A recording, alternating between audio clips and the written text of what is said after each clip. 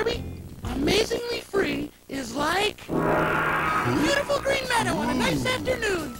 We're standing on the shore of the ocean, watching the sunset. Oh, I like the ocean. And you get a lot of other amazingly free things when you open up an account. Like this cooler. I love my red cooler.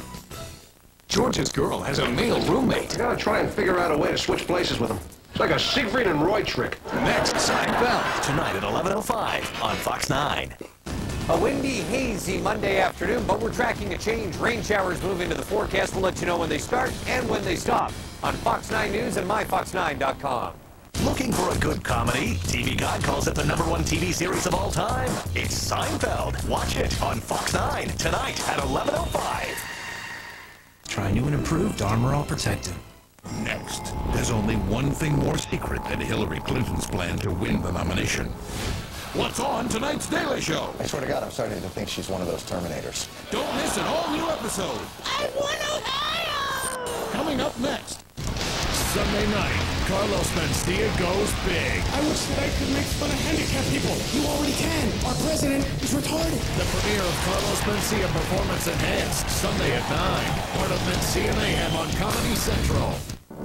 We really balance each other well. Yes, the balance is ridiculous. Yeah, because like he motivates me to get going, do things, and he, you know, starts getting a little type A.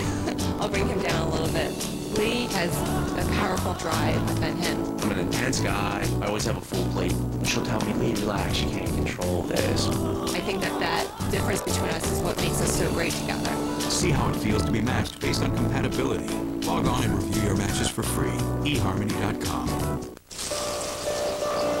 We got the new Forester because Subaru made it bigger and better. Don't get me wrong, we really liked our old one too.